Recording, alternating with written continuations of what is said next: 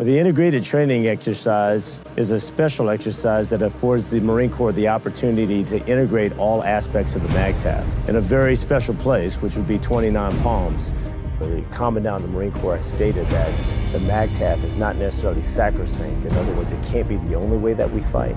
Uh, that is what makes us different as a service, is the fact that we have aircraft as well as ground forces and a robust logistics element. So bringing those together to work in an integrated fashion, uh, synchronizing their operations, makes it to where we have a larger amount of combat power.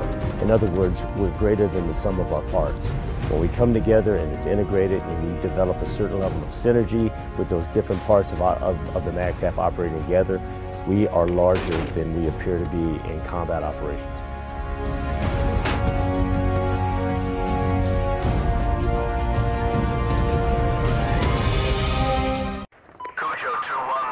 2-1, this is Vulture. Brief. We are in contact with Stalker 2, a Marine recon platoon north of the MSR. They blasted three T-72s in the area. I need you to push 16 clicks north of MSR knife to map grid 257, 7, 9, or 8. How